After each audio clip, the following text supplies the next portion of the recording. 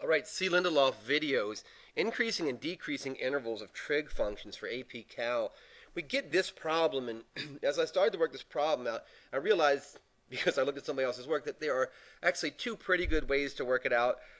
The first way is to use something called the product of sum formulas of trigonometry, and you can use those. It didn't help me a lot. It's not the way I would have chased this down. But let me just go to this really quick. So we look at this sine x times cosine x plus 5 is our function and we're interested in finding all the increasing and decreasing intervals from x is greater than 0 and less than 2 pi. So this is what we're going to do. I'm going to flip over and let you see this really quickly. We're going to use this product of sum formula. All I'm going to do is say this. We have sine, look, we have sine x, right? Cosine x, so that would equal 1 half sine x plus x plus sine x minus x. This is a trig formula. We know that sine of x minus x is sine of 0, and sine of 0, if you look at your unit circle, is 0, so that goes away. So we end up being able to rewrite this as 1 half sine, and of course x plus x is 2x.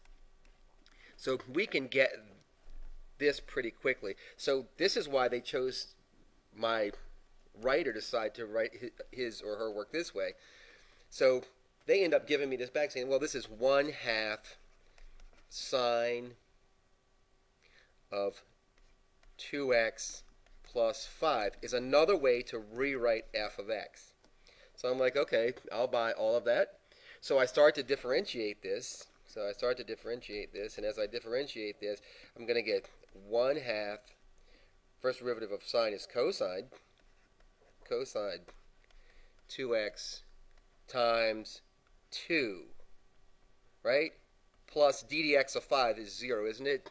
So what happens here is this. If I multiply this 1 half times this 2, I find that f prime at x is equal to cosine 2x. And of course, to be a critical value of this function, to find out where it's going to increase or decrease, we have to find out where this equals 0. So what I did is I found out when does cosine of x equal 0. And cosine of x equals 0 at pi halves, doesn't it? So I do this, I'm like, okay, when is 2x equal to pi halves? I divide both sides by 2, I get x is equal to pi fourths. I also can look at this function and look here, and I can see, th this is what made this more difficult for me, that the period of this function, remember period is 2 pi over omega, and omega is this value here. So 2 pi over 2 is equal to pi. So every time I go pi, this thing comes back to where it was. So I'm going to add pi here. And pi is pi 4 is 4 4 pi fourths, isn't it? 4 pi fourths. And pi fourths plus 4 pi fourths equals 5 pi fourth. So, so far I have x is equal to pi fourth, x is equal to 5 pi fourths. But also, just naturally, if I look at this picture here, I see that cosine is 0 at 3 pi fourths, right? Because this is the cosine value on the unit circle. 3 pi, so 3 pi halves. So I have to go and take that into account also, and I have to say here, or, right, here, or 3 pi halves. So I'm going to do the same thing here.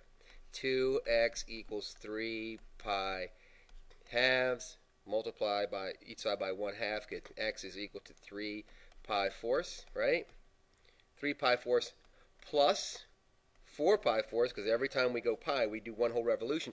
In this case, because our period is only pi, y fourths is equal to 7 pi fourths and 7 pi fourths is less than 2 pi, right? Because 8 pi fourths is 2 pi. So now we have all of these values. So we have pi fourths, 5 pi fourths, 3 pi fourths, and 7 pi fourths. So these are all the values where where the slope of this function goes to 0. And every place in between those places we have a, a negative or positive slope. We have an increasing or decreasing interval. So I went to here, and from here I started to just pound this out, and I put in. Some people say, "Well, what values would you check?" I would find trigonometric values that I know that are between those two.